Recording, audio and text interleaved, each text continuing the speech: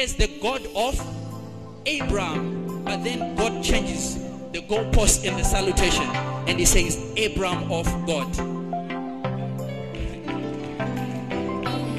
Are you hearing me?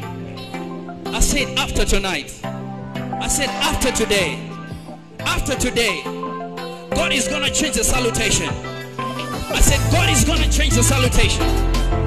You see, the difference between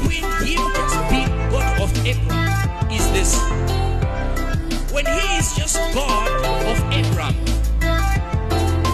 it is just a general perception where you know every believer or everyone belongs to God.